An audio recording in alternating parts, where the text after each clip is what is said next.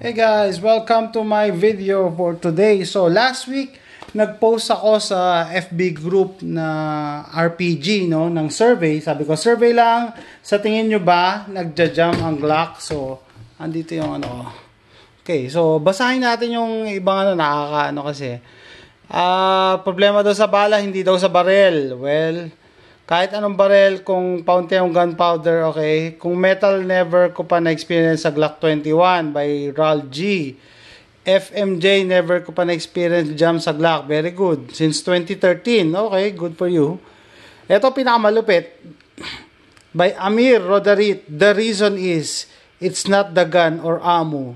It's the man behind it. Wow! Heavy. Ang, ang lalim na na. So, Okay, ito, um, this makes sense kaya nilike ko, sabi. Lahat ng baril ay pwede mag-jam. Ito ay dahil sa maraming kadahilanan. Ang gawin mo, mag-practice ka paano mo maibalik sa normal function ng baril mo pag nag-malfunction. By Edwin Cueto Clemencia. Well, that makes sense. So, um, balik tayo rito, no? Karamihan sa mga comments no no doon sa post ko is sabi basta daw ano um, reload yung ammo. Well, sa Pilipinas usually talaga pag nagpa-practice ka or nagko-compete, usually reload para makamura. Pero uh, disclaimer, nasa Texas ako so bihira hindi ako nagre-reload eh, puro ano factory ammo gamit ko. Okay. So, yan. Factory ammo gamit ko. So, wala na yan ha. Na-eliminate na natin yung bala. Okay? And besides, maski na nasa Pilipinas ako, gumagamit ako ng reload. 5 piso isa pa nun. Bago ko isabak or gamitin yung bala ko, sinusukat ko, may bullet sizer. Pag wala, yung barrel, tanggalin mo yung barrel, yun ang gamitin mong pansukat. So, wala pa rin akong problema sa reload. Okay? So, regarding sa mga buntis na reload, ano pa, uh, meron pa mga ibang ano, Ayan, nagja-jump. Oh, ito, okay. Kay Shad Barbaran. Charge to experience, Brad. Nagja-jump po ang Glock ko dahil sa ammo, issues, bad reloads. Pihikan daw sa bala. Well, so and so forth. Okay, so ano pa bang mga... All guns have the possibility to jump, sabi ni Paulo Paulino. Well, it makes sense. And si sabi ni Sir uh, Lanutak, yung limp wristing. Yeah. Ano um tawag dito? Sikat na sikat na sa, siguro sa YouTube, ang dami nang gumawa no na pag nagpuputok ka ng Glock, naglilimp wrist, okay, hindi mo tinitigasan yung wrist mo. So, hindi nakaka-atras yung slide maigi. Anyway, so, maraming ano yan eh. Um, videos, reviews, comments, pero balik tayo sa experience ko kasi more than one week ako nagpunta, more than one week ago, nagpunta ako sa range and eto yung na-experience ko. Doon muna tayo sa Glock 22. Okay, so we we've been having problems with the Block 22 Gen 3 from AIM Surplus. It's a police trade-in. I think it has a weak spring in the magazine. Let's test it again. Uh-huh. go in all the way.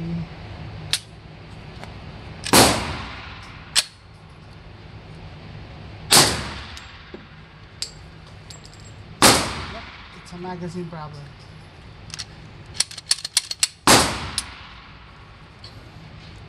Okay, we'll change mag and the magazine. No.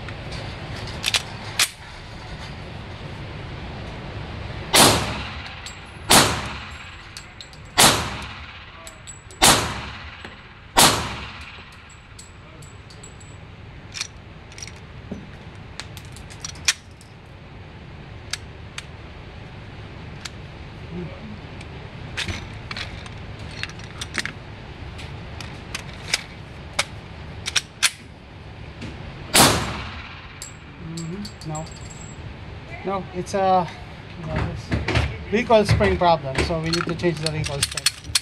It's not gonna work. Okay, dun sa Glock 22, um, yan, yan ah. Store-bought ammo yon tapos yan ah, hindi siya steel primer, hindi siya steel case, Hindi hard primer yan. Brass case ammo by Remington. Ito. Okay, so nung una nag-jam ako, sabi ko, ah baka, ano, oh, before anything else, disclaimer also, ito mga baril na to, lahat to, binili ko yan eh, with my own money. So, hindi ko yan hiniram para siraan yung Glock or what. So, I want them to work. Gusto ko gumana sila kasi akin yan eh.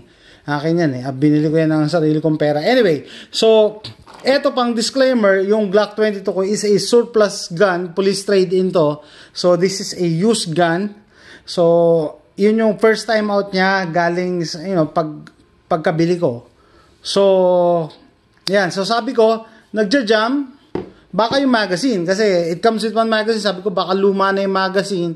Baka mahina yung spring tension. So, ginamitan ko, makita nyo sa video, ginamitan ko nito, bagong-bago to. Kaya hindi ako nag-post ng, ano, ng video shooting this kasi puro jam ako. So, eto, ginamitan ko, bago din. And then, malak- maano naman siguro yung magazine nito, spring tension, no?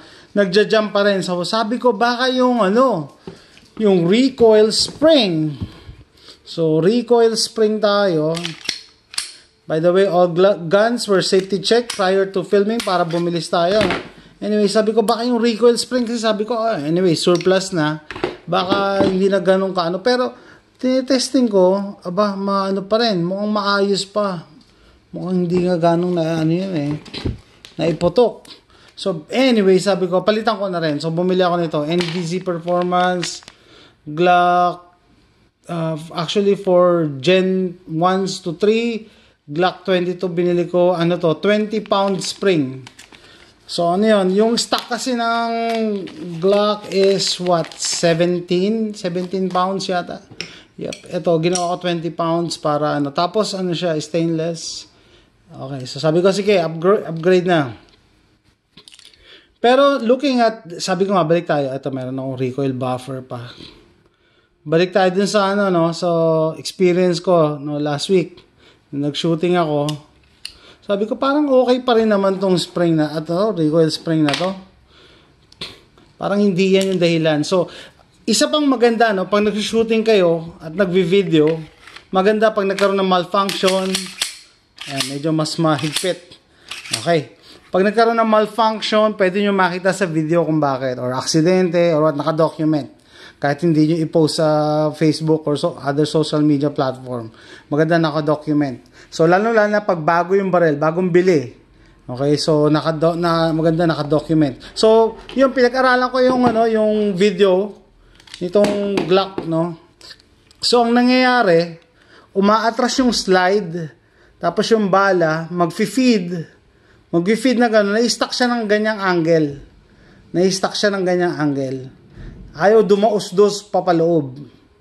So, failure to feed. Ayaw niyan dumausdos papaloob. So, ah, okay.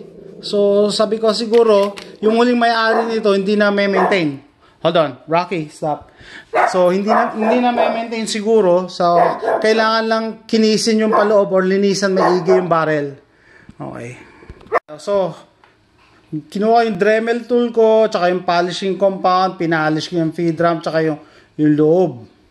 Ngayon, kahit bagalan ko yung ganon, yung balik ng ano, dumadaos-dos na siya papaloob. Anyway, so makikita natin sa, sa next video ko, hindi pa ako makapag-shoot ngayon.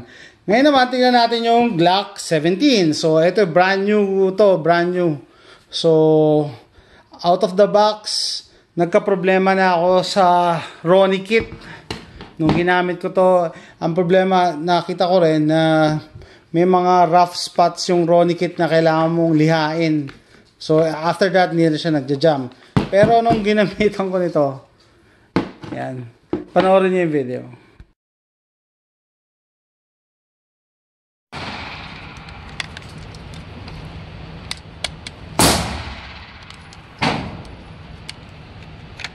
Okay, we'll test our Glock 7. Yes. Let's see.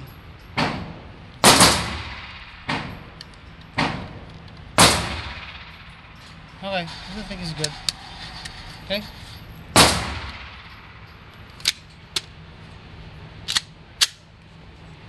number one.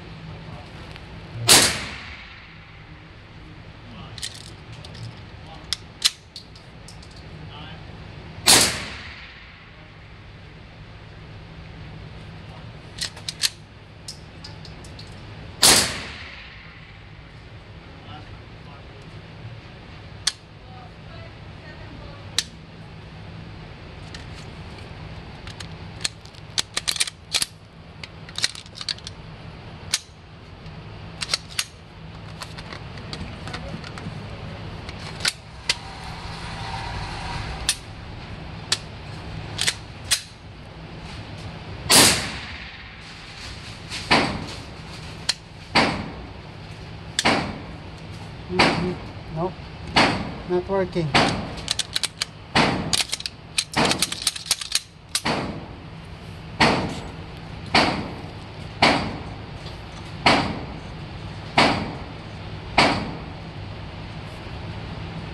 Okay, so dun sa nakita niyo yung video, no, parang single shot na yung Glock 17 ko. Pero without it, okay naman to. Wala tong problema.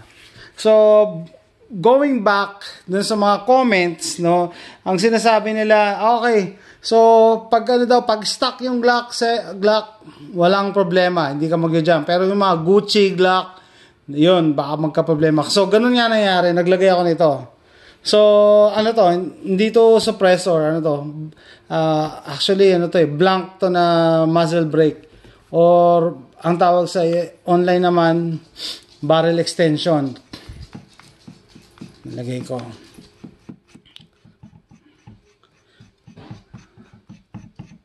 Yan. Sabi ko, subukan ko gamitin.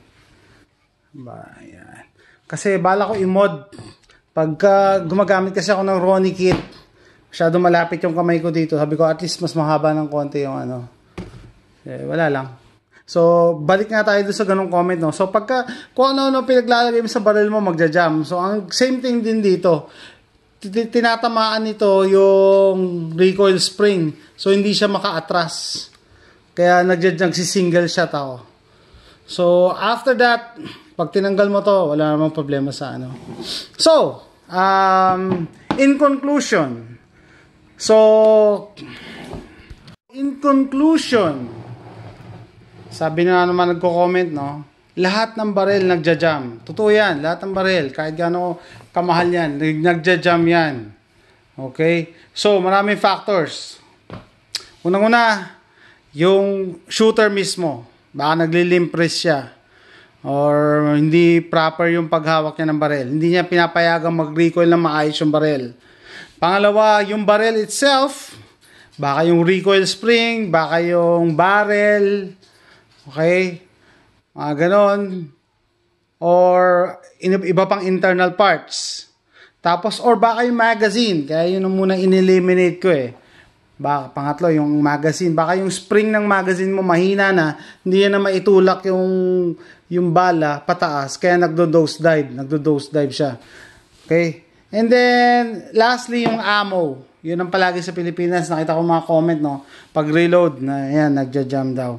So, um, sabi ko nga, no, personal kong binili itong mga baril and I wanted to work. Pero, um, generally, generally, eh, sabi ko, do sa general statement na lahat ng baril nagja-jam, based on sa survey, mga reviews, hindi ako Glock fanboy ah. Actually, last ko na to binili.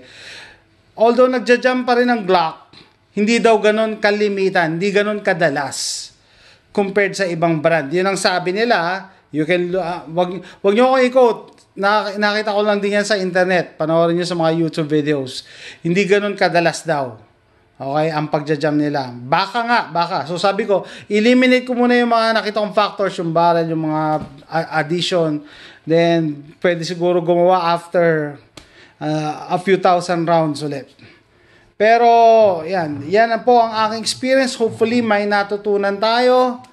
Lalong-lalo na sa mga Glock owners and potential Glock owners. And maraming salamat po sa mga nag-contribute do sa, sa pina-survey ko. And pagiging uh, open-minded uh, or like open-minded and like-minded gun owners na nandito sa pinag-postan ko po ng video ko. So maraming salamat po.